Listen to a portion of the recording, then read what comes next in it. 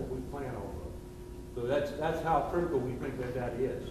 Not only can they give us data on hurricanes, but they can give us spot information. If we have an incident in the parish, they can roll out a mobile unit, and they can actually give a spot forecast for that information. Extremely professional, always willing to help us, and that, and again, again, exclusively, that's the data that we use to make predictions. Again, thank you guys for being here, and without any further ado, I want to introduce Ken Brown, uh, from the Slidell Office, National Weather Service. All right, thanks, Rick. Thank you. Well, thank you for the invitation. It's, it's great to be here. I'm Ken Graham. I'm the chief meteorologist with the Weather Service. And, and like uh, Rick was saying, it's, uh, you know, it's, it's hurricane season, and, and we do the briefings. So your tornado warnings, your flood warnings, your hurricane warnings, your general forecast. We have people right now at the office issuing the forecast for your airports. So if you fly out of the local airports, uh, the forecast in that cockpit is forecast from our guys back at the office. So all that's behind the scenes. Fire weather forecasts, tsunamis. Uh, the Weather Service even does space forecasts for the, the solar flares. There's all sorts of different things that the Weather Service does behind the scenes. But the most critical is, of course, the warnings. It's the hurricane information, it's the storm surge information, and it's the impact. And if you question any of the impact in Louisiana, and it's one thing that we were talking about ahead of time, I've mentioned it several times, and this is just to set the mood of how, how serious this stuff is. If Isaac was a category four, same speed, same size, but a category four, that water would have went through Gonzales to South Baton Rouge. That's your storm surge. Okay, so the vulnerability is serious. It's a serious topic, and that's why we need to talk about it today. So my, my goal today is to talk about some science, some social science, and then some products and some new things that we're doing that we're testing in our office. So one thing I want to talk about, our office is a test office. So we're located in, in Slidell. We cover Baton Rouge. We cover from McComb through Baton Rouge, 60 miles out in the Gulf of Mexico, all the way to the Alabama line. Okay, so we have 22 parishes and we have eight Mississippi counties that we, we are responsible for, and we're a pilot project to test something new. It's called decision support. And, and Rick, you mentioned it. It's, it's providing the science and the data to make those big decisions. Okay, whether it's when the snow is going to start, so we don't have the school buses on the road, or it's when the impacts are going to be uh, from a hurricane. We do a webinar as Rick was saying, we do it every single week at Thurs- Thursdays at 2 o'clock to make sure everybody's on board with the weekend weather. And you look at these briefings, that's the swerve. It's a significant weather emergency response vehicle. It's the only one in the country. It's the only emergency vehicle for weather, and it's actually deployed right now. We were asked by Homeland Security to go to West Virginia, believe it or not. It's the National Boy Scout Jamboree 45,000 Boy Scouts, 150,000 people, nine counties. We were up there right now giving the briefings. And Saturday, I don't know if you saw the national news, the concert started early and ended early because of our forecast. And an hour after they evacuated the kids from that concert, 15,000 kids were put into shelter. The storms hit and lightning was actually hitting the concert. Okay, that's the seriousness of what we do, and that's the swerve. And we also call it the, you know, think about the acronym SWERVE. Meteorologists pull this thing. Let me tell you something. If you ever see that go down the highway, it'll swerve all over the place. Don't put a scientist behind a wheel of a 40-foot FEMA. But it is an old FEMA trailer that we got, and we converted it, so it was free. It's all donations. Everything on that's uh, donated. So we're very proud to be able to do this for free. I brag about that all the time, how resourceful we were, because we got no money uh, to do that thing.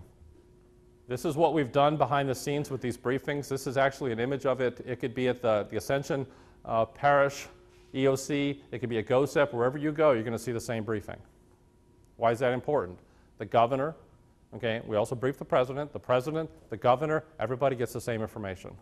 So the governor will get the same briefing as the manager at Popeyes. Does that make sense? Everybody's on one page. It's very serious. Everybody has to be on one page or we'll have the wrong decisions made. This is the governor of Mississippi in the briefing, and you can see the different aspects of what we do, including the media interviews uh, during the heat of the battle. Something you might not know about us, we also were deployed in the Super Bowl. Why? It's a, it's a national event. It's a, it's a Homeland Security event. So behind the scenes, we're actually looking at uh, plume modeling to see if there's a terrorist attack, if it imp impacts the Superdome. Okay? This right here was my seat. I missed the entire game. These guys stood up the whole time. I didn't see a, one single play in that entire game. So everybody thinks it's a boondoggle to go to the Super Bowl. It was not. I missed the whole game. So we were there doing our thing. I was actually in this command center when the lights went out. And you've probably already seen the news. It's going to be a busy season. Okay. Normally, June gets started off pretty quick, and then July gets quiet. Um, that's about to change. Okay, August and September get much busier. We are forecasting uh, a very busy season, and I'll show you that uh, it's not, it doesn't really matter if it's going to be busy or not busy, and I'll show you why here in a second. And it all depends on the, the global patterns, but here's what I want you to look at right here. This is called the ACE. This is the accumulated cyclone energy, and look at the values. We're predicting upper 100s, somewhere between 150 and 200 or so. Keep an eye on that value as I I remember that number as we go forward. Everything that we look at around the planet points to a busy season. Okay? We have a wetter than normal African monsoons kicking off all sorts of clouds, all sorts of storms coming off the African continent. The water is warm. There's not a lot of shear. Shear is everything. Shear is more important than the water temperature. Shear is a very important factor when it comes to these hurricanes. A typical El Nino, you have some winds this direction going from left of the screen to the right, tears the storms apart. And it's hard to get storms. We don't have that. So everything's pointing to a busy season. This is the ACE index I was talking about. These are your values over the years going back to 1950. The two that stick out here 2004 and 2005. Busy seasons, remember? Very busy seasons. So where are we now? Just as busy, we're forecasting it to be just as high as some of those busier seasons. So everything is, is lining up to be busy. The other thing I want you to notice, notice how busy it was back here, 1950 to about 1970, and then a lull, and then busy again. We're in a period of time that is just really busy.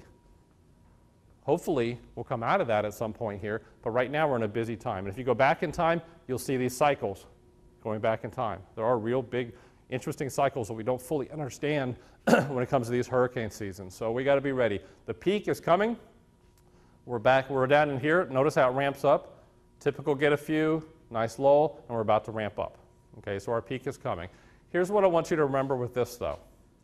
No matter if we're forecasting a busy season or not a busy season, it all depends on what? If we get hit, right? If we don't get hit, I mean, you hate to say who cares, but, right? It all depends if we get hit. So look at this. This is 2010. We almost ran out of names. You can't see it, but that right there is the T storm. 2005, we ran out of names, had to go to the Greek alphabet. I never thought I'd see that in my career. 20 years in, in the Weather Service. That's a T. But notice 2010, we were concerned about the oil spill. We had a little system come through, but look, they all turned. Okay? Very active season, 2010. Almost ran out of, out of names. They all turned in the Atlantic. Okay, a couple down in here, but mostly they turned. 2005, what's the difference? It's the same thing, just moved over. Okay, so whether we get hit or not all depends on the patterns where that high pressure is. The big Bermuda high, is it going to turn this direction? Or if we go back, is it going to do that? Okay, so that's the key to whether we're going to get hit or not. And that has a lot to do with, so our forecast of the numbers is the number of storms. It is not a forecast of where they're going to hit. Okay, so always remember that. So of course, 2005, we don't have to go over that. Uh, Katrina, Rita, and we did run out of names. How about 1965? Strong El Nino, not very busy, pretty inactive, not a lot of storms here. Had a couple of them turn in the Atlantic. What storm's this one? Yeah, it's Betsy. Okay. So it's given away. 1992, the same thing. Not a lot of storms, very inactive. The very first one, very first one of the season, Andrew. Okay, so watch that. Don't be, um, we always tell the emergency managers, especially, we say, even if we come out and say not as active as it normally would be, it really doesn't matter, okay? So we got to be prepared no matter what. Last year, 2012, to recap last season, by the way, that's a T storm.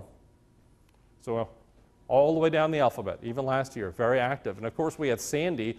You know, if you go back in history, we'll be talking about Sandy and Isaac, but look at all the storms. A different pattern wouldn't have been too good for us, correct?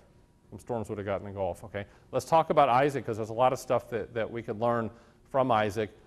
Uh, rule of thumb, a lot of your stronger storms, when they get close to land, they either maintain or weaken a little bit. These are the scary ones. These are the ones that develop and, and strengthen as they come in. A lot of the ones that strengthen continue to strengthen all the way in. Isaac was the best developed, had the best eye when it made landfall. And you get the wind around the eye, and look at the rainfall. We had tornadoes in these bands. Lots of tornadoes from, from Isaac as well. So a very impressive look uh, towards the end, not really till then. Look at these squalls. How long was Jackson County and some of these other areas in those squalls? Days. Okay? Some of those areas got several feet of rainfall. The takeaway from this is your impacts on the ground have everything to do with where the storm is. It seems obvious. It kind of seems obvious, but it's more than that. Look what happened in Jackson County. Do you think they expected 24 inches of rain in some areas? Hard to predict where those bands are going to set up, okay? And they also got the tornadoes. Look what happens days after the storm. You still have these tornadic bands. Okay, so the impacts come early and they linger for a while. And the biggest takeaway from Isaac bigger the storm, more the impacts, slower the storm, more the impacts. Not about the category. Look at these values. Do you ever think a category one would produce a 12 foot storm surge? 12 foot storm surge. And actually, the watermarks were about 14 because you got to add the tide and you got to add the waves on top of the 12. We predict the storm surge. You got to add the rest of it on top of that. Look at the storm surge values. Of course, we have the flooding and rescues. Here's the rainfall totals. History will remember it as the rainfall. You can actually look back. Our radar, the dual pol radar, actually predicts and, and uh, looks at how much rain fell with a storm. You can actually almost use your imagination and see where those bands were when you look back at the storm and look at the rainfall totals.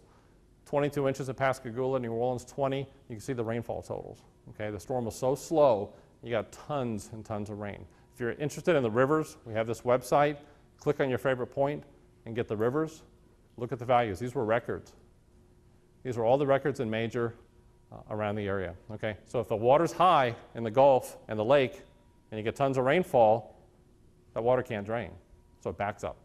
These are all the little teeny factors that, that we try to try to put in our briefings. Tornadoes, these weren't small ones either, by the way. Two EF1s and an EF2 tornado struck in Isaac. Okay, and actually those bands, there was almost tornadoes after one after another in those bands. People were watching them, filming them. I was watching them on CNN. They were uh, cranking them out uh, quite a bit. So I want you to consider this for a second. I want to show you a list of quotes, and some people have seen them, and I think they're very, very important. These quotes are real quotes that I heard during Isaac. Many were from officials. There's a few maybe from the general public. Most of them were officials. These are quotes I heard during Isaac. And this is the social science part of the discussion here because we're getting pretty good with the physical science. We're getting good with where the hurricane is going to go. What we're having trouble with is people understanding the information and doing the right thing with the information. And you'll see in a second. Here are the quotes I had heard during Isaac. The top one this is just a category one hurricane. Everybody wants to insert the new name. They want to name them themselves, and the name is Justa. I don't know, I've never heard of the name Justa, but Justa seems to be the, new name for hurricanes. Everybody wants to add this Justa. Look, what's the problem with that? It's still a hurricane. And this quote was coming everywhere. I, I heard it from officials, I heard it from the public, I heard it on TV. Okay, we've been through Katrina, we've been through Betsy, we've been through these storms. Guess what people said but right before Katrina hit? I've already been through Camille. We survived Camille, and that was the worst. So we should be fine in Katrina.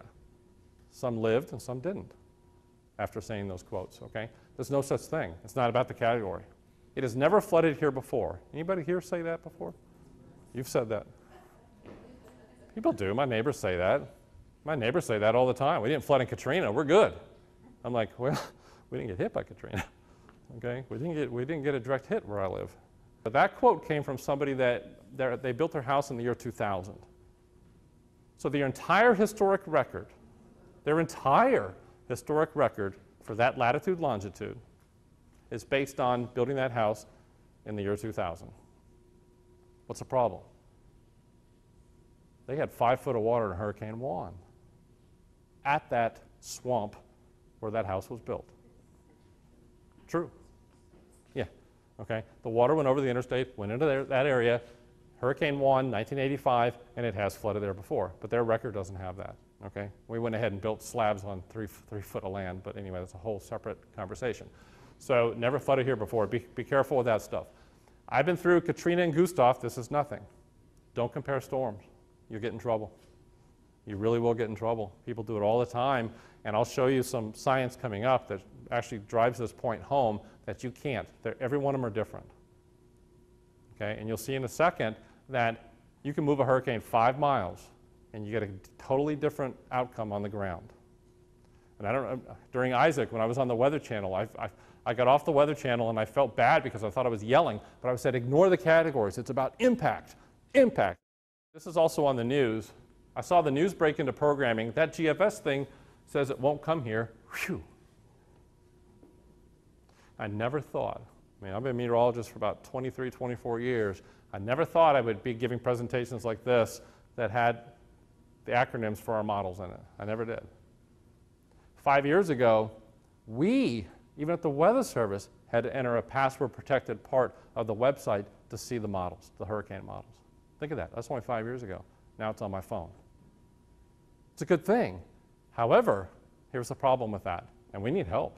Depending on if you're a half, glass half empty, you know who you are, glass half full type of person, so positive or negative, depending on your personality style, you're picking the solution that best fits your personality. I saw it a little bit in Gustav, and I, I sure saw it in Isaac. And how many years have we been saying, please pay attention to the cone and not the skinny lines, right? We've actually gone back. It's set us back a little bit because everybody has these lines, and that's fine. But now we've got to figure out ways to interpret that information, okay? So be careful. Don't get caught with that. We're looking at all those models. This is the same surge forecast as Gustav, and I didn't flood then. That came from an area that flooded in Isaac. That came from an area that didn't get hit by Gustav. You see the problem? Just because it hit somewhere in the southeast, people have gone through it. Right? They've gone through it.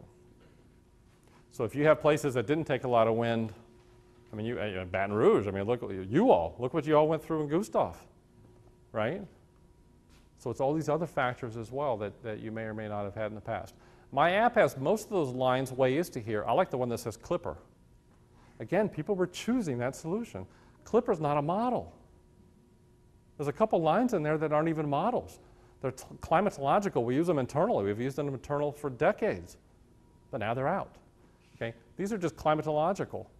If history was to take over and was a perfect storm, this is where it would go. Has nothing to do with the weather pattern okay? And it's never correct, ever. We have another one that says if it keeps going straight, this is where it would go. All it's doing is extrapolating. Okay, the storm's going this way, the forecast is here, this line goes this way as if it kept going straight, and people are like, ooh, I like that one, we're in good shape over here. See what's happening? Got to be careful. We are going to evacuate for all Category 1 hurricanes from now on. I heard that a lot after Isaac in this state. What's the matter with that? Not every one of them are going to be like Isaac. See the problem with that? So, what's the problem here? So, if we evacuate people for the next category one that has different characteristics, it's smaller and fast, where we probably don't have to evacuate, you do that two or three times, right? And mom and pa evacuate to Nashville with everything they own and spend $2,000 every time they do that and come back and nothing happened. Are they going to do it the third time when Isaac comes again? They're not going to go, right? That's why we can't base it on the categories. Oh, great, I have a GIS map. Finally, something accurate. Y'all don't say that, do you? Okay. This, this happens a lot. People are looking for a pretty picture. They're really looking for a pretty picture. Have to watch the data that goes into it. Okay, watch for that data, it's better. Here's one. This was huge in Sandy in the Northeast. We just had our 100 year storm last year. Right? So it can't happen again. Well, that's not the way it works. And another little quote that's not on here there was information that in Hurricane Sandy on Long Island, New York, that basically said, and, it, and you know, it's, it's people trying to do the right thing, that said Sandy is going to be twice as bad as Irene. Right? Sounds pretty innocent, doesn't it? Twice as bad, trying to get people ready. That's going to be horrible. Twice as bad as Irene. The direct interpretation of people on Long Island after hearing that information was like, well, you know, Irene, I got six inches of water downstairs. I'll have about a foot. I'm in pretty good shape. All they did was say twice as bad, six inches to a foot. They got eight foot of water. Okay? So these little subtle social science things. Again, the forecast was forecast was pretty good for we were dead on in Isaac. We weren't that bad in Sandy either. We're getting pretty good with that part of it. How do you get the information out to get people to, to totally understand what that impact is. That's tricky business, really tricky business. Okay, I did that forever. Um, preconceived notions. You all have them. Isaac didn't fit. Here's the deal. Saffir-Simpson scale, the categories, is based on wind only. That's it. It's just wind. Has nothing to do with the storm surge. Has nothing to do with the impacts. It is wind only. It is a scale of wind. That's it. It ignores wind duration. Why is that a big deal? It's a big deal for your parish. The longer that storm push, pushes water in Lake Pontchartrain, the more water you get. Right? Simple as that. The slower the storm, the longer the wind. The slower the storm, the more rain. The slower the storm, the power lines come down and the trees come down. Slower the storm, more power outages. And a wider area. Small storm, and you get a lot of power outages too, but at least it's a path. This is a larger area. So all the impacts are different. Storm surge is higher, heavy rain, river flooding, all that's ignored in, with, with the categories, okay? So there's no such thing as a category one. And let me tell you something. Isaac was only a hurricane for about nine or 10 hours, it's arguable. Okay? Isaac was only a hurricane for about nine hours. Subtract those one or two observations, and Isaac would have been a tropical storm, producing that big of an impact. You talk about a nightmare then trying to get information out. Just a tropical storm would have been the tough issue. So I want to share something behind the scenes that we do. This is one of the slides from our PowerPoint that we brief the governor, that we brief emergency managers. This is our slosh model that predicts storm surge. It did a great job. But notice, what do you see on this slide? What did, what did we have to do behind the scenes to come up with the right solution for Isaac? What do you see on here that's a little unusual? It's in the title. Cat 2. What's it doing there? I thought we were dealing with a 1, barely a 1 at that. Isaac was so far out of the box that we had to pick the solution that best fit the storm surge. It's interesting. In fact, we took it so serious, I was so worried about it, the very next package, we just eliminated that category altogether. We left it blank. And I took a lot of internal criticism for that. But it didn't matter because we had to make sure that people weren't saying, why are they showing a two? They must be planning for one up. I don't know what those guys are doing over there. But the reality is we're trying to show the best, the best picture for the, for the situation, okay? A couple things to notice. By the way, I won't get into it too much. What we do is we pick lots of different paths. This is your storm surge value. Look at the water in Lake Pontchartrain, Maurepas. That's storm surge up the Mississippi River. We had eight foot of storm surge go right up the river, all the way to Red River Landing. Think of that for a second. That's the power of these things. Okay, we were low flow, so that water went right up the Mississippi River. So this gives us a good depiction of what kind of flooding that we're, we're going to get.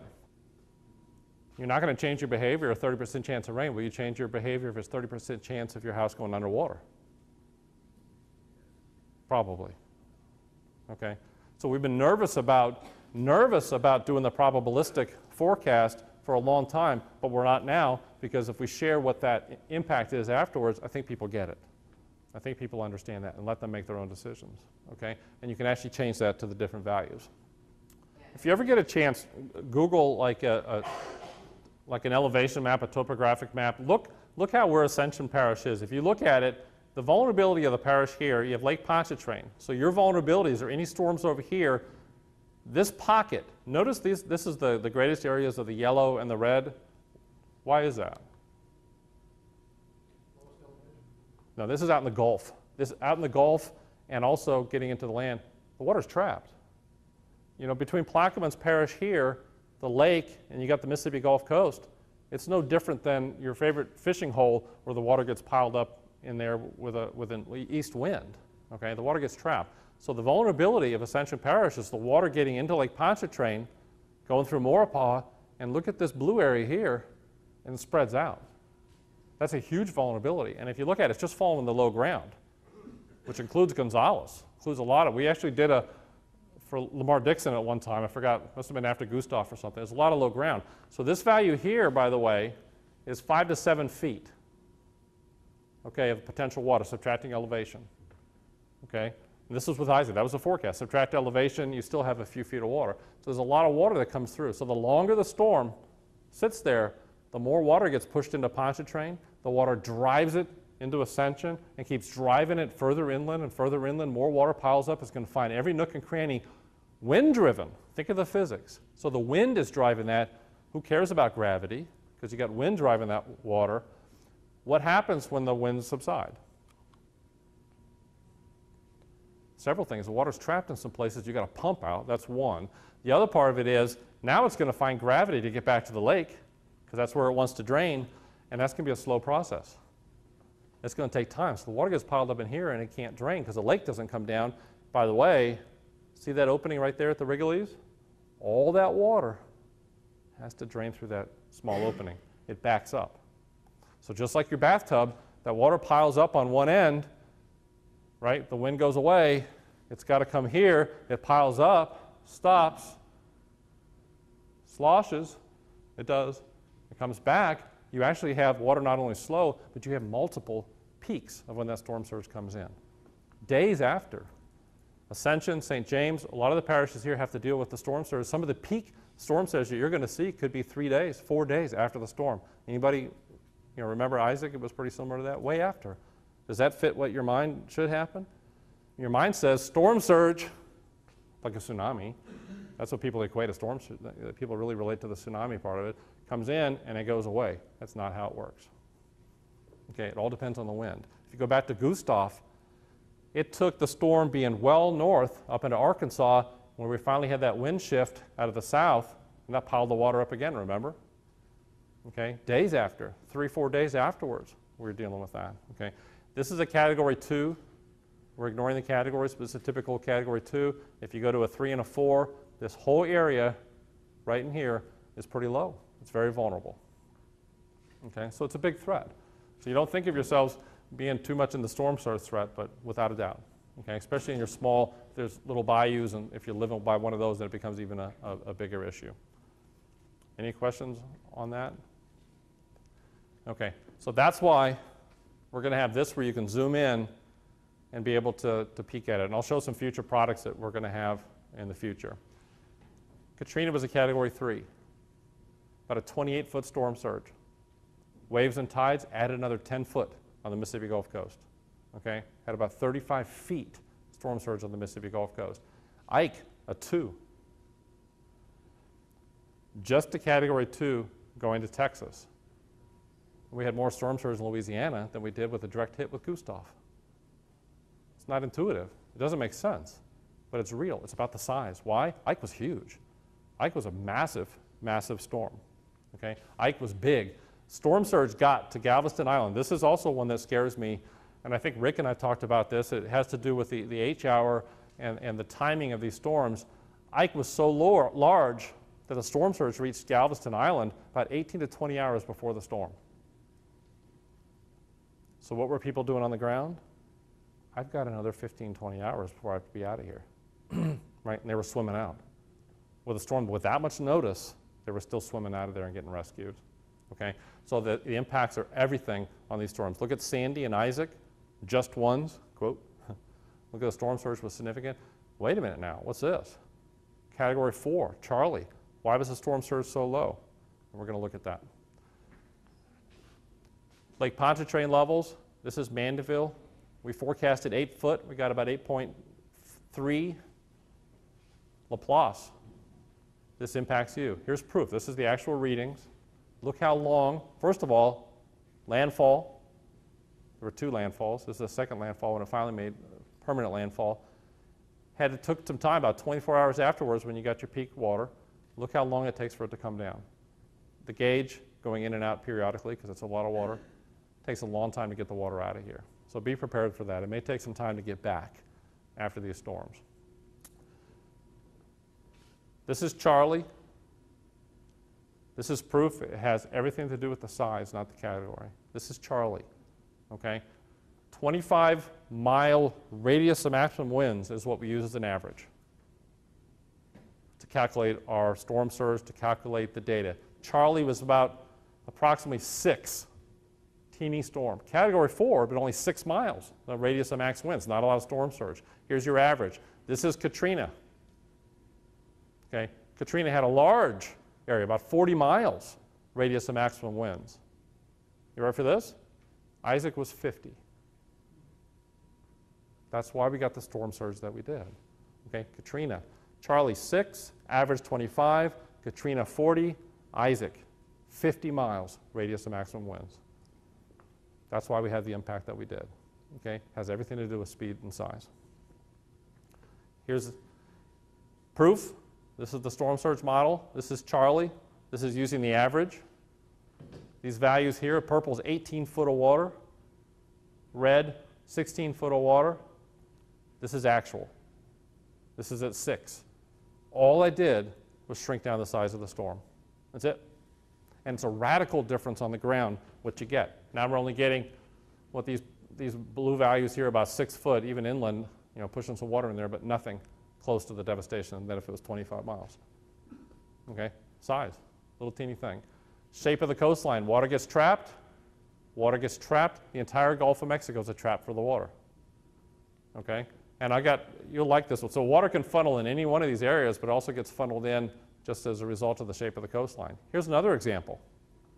Identical storms, two identical storms, both category threes, both moving at 10 miles an hour, one moving northwest, one moving northeast.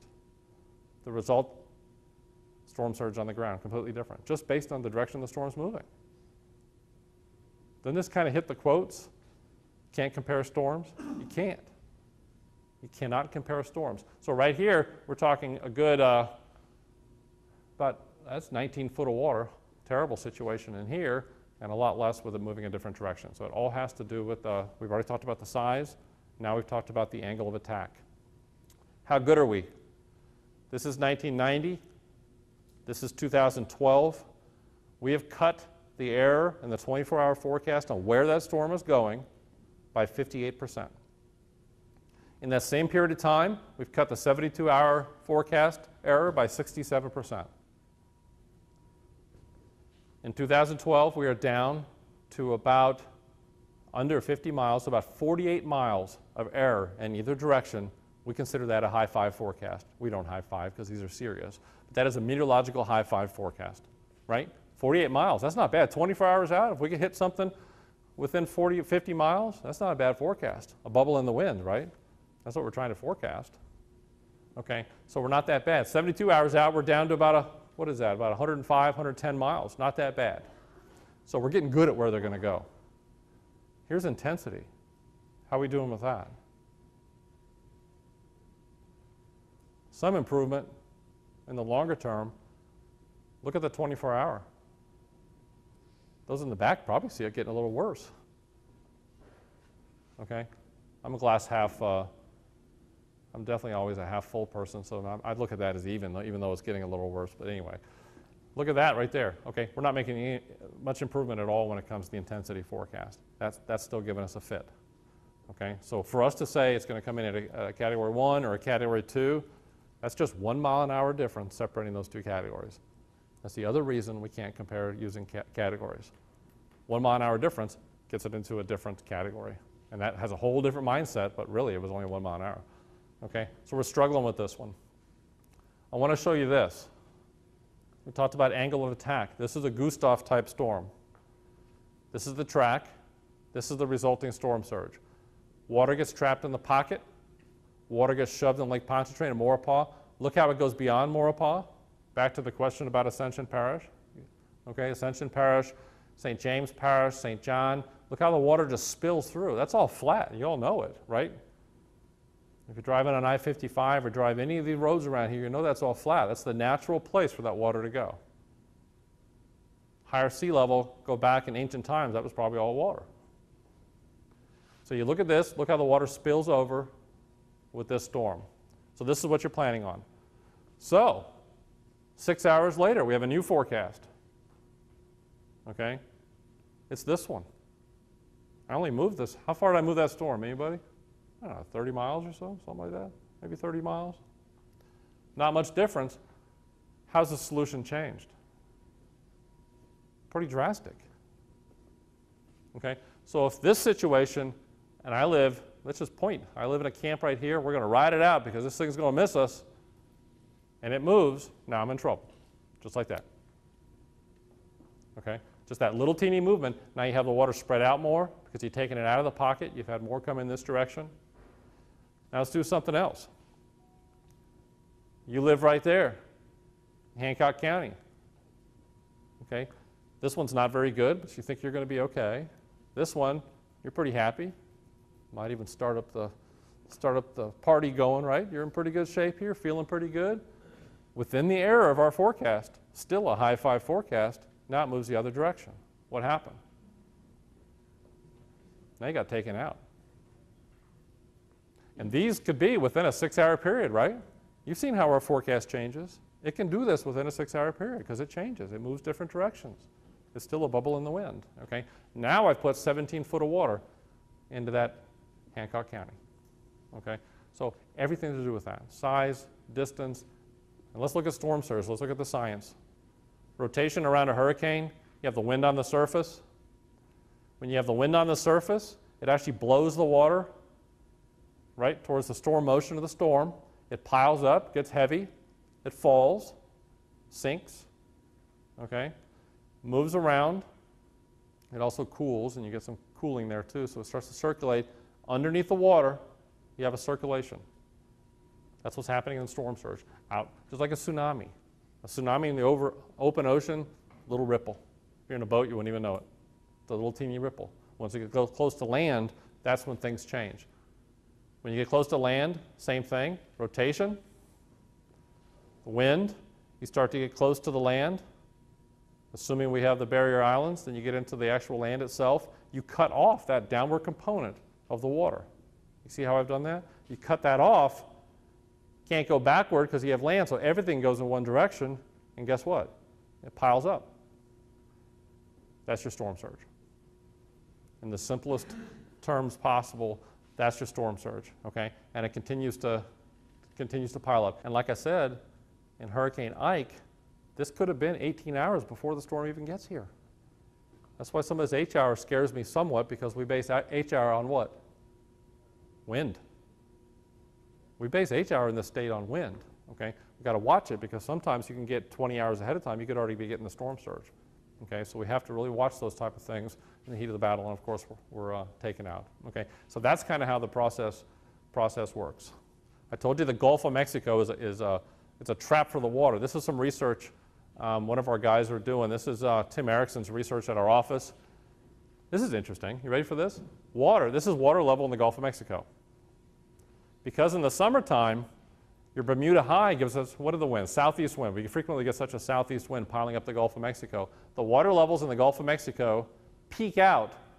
These are the months, this is in the year, it peaks out August and September. Isn't that interesting? Lovely, isn't it? Okay, it couldn't be the other way around. So the water in the Gulf of Mexico, we go back in time. He's, he's starting to, he wants to go back two, three hundred years and do the research. That water is the highest in the Gulf of Mexico every August and September, which is pretty interesting. Okay, by how much? Not a lot, right? You say zero, I don't know, whatever. It looks like an inch, inch and a half over the whole Gulf of Mexico. That's a lot of water. Does that make sense? It's a lot of water. Okay, interesting research. He put different points, and it all leads to the same thing. Okay, we need to be careful with this. We've been through, of course, Katrina. We've been through a lot of, a lot of storms. The storm surge is the big thing. We're going to have to watch all the impacts. For you all, remember Gustav, the wind, you get the rain, you get the surge. Impacts haven't happened outside the cone. Folks, the, the cone that we use is not a cone of impact. It is a cone of error. It's a statistical model that we run to come up with that cone. It is not the cone of impact. Here's an example. There's impacts outside the cone. That's why we have the warnings up. And you'll see that over and over on these examples. Gustav, every one of them is so different with what they do. Gustav's kind of interesting, just a little historical fact. We think we recorded the highest wind ever recorded in history from Hurricane Gustav on Cuba. It got over 200 miles an hour, and then the mast broke and the building collapsed. Isn't that interesting? But the data was saved. That's what was headed towards us in Gustav. And a little bit of different movement just added up how that could have been a, a different impact, impact on the ground. Let's look at Gustav real quick, because every storm is different. Compare that to Isaac. Compare, you're not supposed to compare storms, but let's compare it a little bit. Hurricanes don't just form and stay uniform. Gustav is going through an eye wall replacement at the last minute. So one eye wall goes away and a new eye wall takes over. That's typical. You can Google it and go look it up and, and study that. It's pretty fascinating. So it's breathing, it's changing. Right at landfall, it was changing to a new, a new eye wall and it got expanded Larger storm, more storm surge. Right when it expanded, it threw a lot more storm surge over to the Mississippi Gulf Coast. Little teeny changes, big difference on the ground, okay? Once it got the new eye, it tightened up right over you all, all right? You all and, and, and Baton Rouge. That's when it tightened up again and caused all the damage, okay? Those are the subtle, subtle um, impacts on the ground that can happen from these, these systems. Uh, Isaac, barely a one, large size. We've already uh, been through that. In history, heavy rain events. The big takeaway here notice depression, storm, storm, storm. Now we have a hurricane. Okay? What's interesting about this, it doesn't just take a hurricane. Remember Allison, it doesn't have to be that. So again, listen to the listen to the impacts. That's the cone, 2003. Because we're getting better, this is the cone now. It is a statistical model. If you connect those dots, 33% of the time your storm will be left of the track. 33% of the time it'll be right of the track. What's left? 33% of the time it won't even be in the cone at all. Think of that. It is pure statistics, okay? It is not impacts. The impacts occur well outside. Where? Ike. We had impacts in Louisiana, didn't we? Big impacts. Remember the storm surge and the wind? Look, not in the cone. Not in the cone at all. I just circled it there. This one, same thing. This is Ike. These are all things on our website that you can get. Wherever you work, if you need these things, the probabilities, it's all there. All this stuff, you look at the probabilities. So not in the cone, but look at this. Interesting. Tropical storm force, force winds, we got a 30 to maybe up to 50% probability of getting those type of winds. That's pretty high. Ike, again, the impacts, look at the probabilities. So look at all these products in the heat of the battle.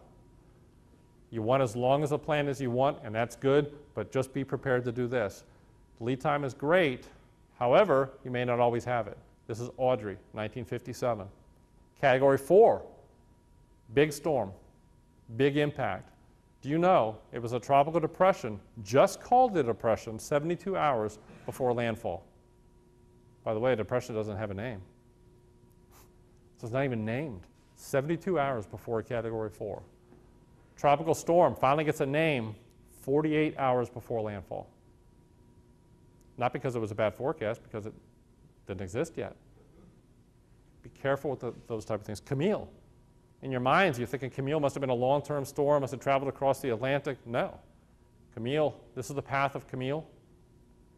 Okay, landfall is a category five. Tropical storm got its name 80 hours before landfall. We got to be prepared to go pretty quick. Isaac taught us that too, right? Isaac kind of snuck up. What was tough with Isaac? that weekend before.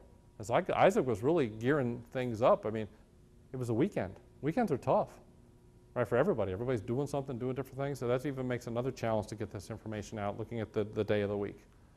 Bill, okay, landfall, 60 mile an hour winds, pretty significant. Depression 30 hours before landfall. Cindy, same thing. You get the point. Okay, depression 48 hours. may not always get the, the lead time.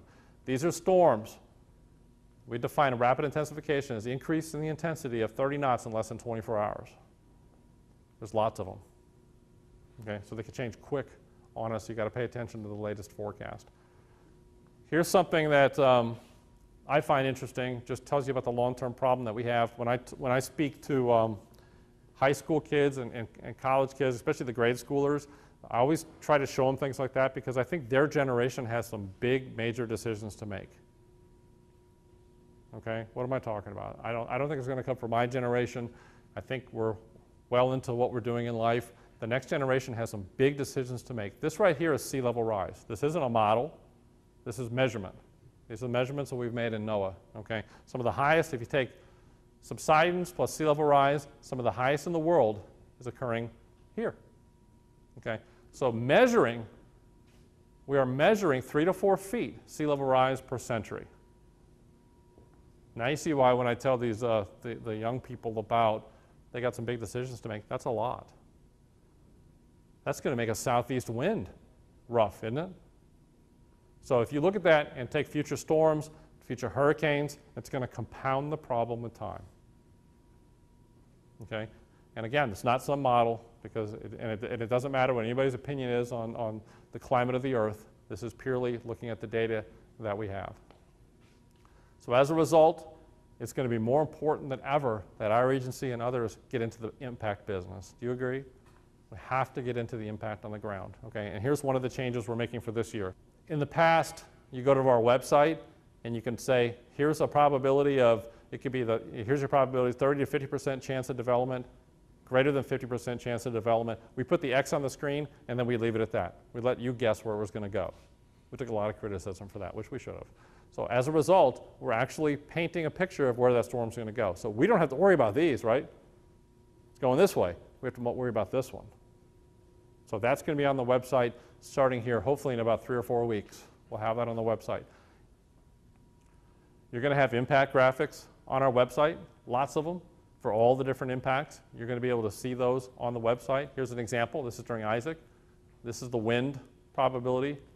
Having we have a high in the categories, trying to get uh, everyone to understand exactly what that means. So it's a high probability of that. That's the storm surge one I've already showed. Extreme. 2015, we will have a storm surge warning. Our office is already testing this. You will have a storm surge warning. So even if the storm's going somewhere else and you don't have a hurricane warning, we're hoping that a hurricane warning will get people's attention. But even on top of that, if we don't have it, the storm surge warning will. Does that make sense? Because we're so vulnerable to the storm surge. So starting in 2015, we'll have a storm surge warning, brand new. And starting next season, 2014, we're going to have inundation graphics. We're extremely sensitive, as I showed you with the error, right, with the storm surge. So what we're going to do, this one right here was done that way. We're going to run a thousand models. Take one model, run a thousand different scenarios, bigger, smaller, left to right. We're going to do everything we can to that hurricane, and as a result, that's what we're going to come up with. That's a safe way to play it. Because if we run it this six hours, here you go, you're going to be okay. You lose electricity and have no way to get information. The next one is closer to you six hours later, and you're in trouble, right? If we're irresponsible with this graphic, people can die. Online, our website, you can also slant Baton Rouge, either one doesn't matter. Follow us on Twitter. If you don't think Twitter's, when I, when, it was only five years ago when somebody was following me, I got all paranoid. I thought I was actually being followed. I didn't know, I really didn't know much about Twitter. Twitter's changing the world. You know, we have the weather radio, we have all these type of things. Let me tell you, we get more information. I never thought, again, I never thought I'd make this statement. We get more information a hundredfold times over on Twitter than we even do our, our, our, the community calling in. Twitter, there's tons of stuff. We get pictures instantaneously. We get tons of information on Twitter. Okay, it's really changed everything. So follow us on Twitter, like us on Facebook. We try to put some stuff on, on Facebook as well. It helps. And I want to let you know behind the scenes, again, I, we invented this in Birmingham back uh, about 2002.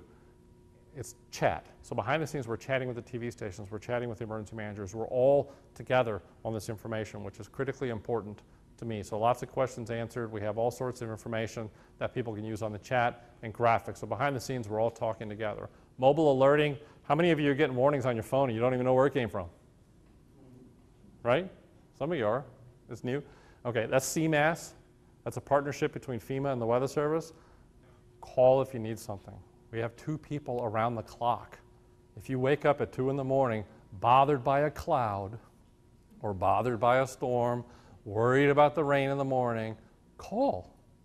Call. They'll appreciate it. They're trying to stay awake as it is at 2 in the morning. It's not easy. So call them. We're very, we're very proud of the fact that we're probably I don't think there's too many agencies, especially uh, us feds, that you can call 24 hours and talk to a human. You'll get my voice at first, but then if you press number four, then you'll, you'll get one of the guys and gals over at the office. Thank you.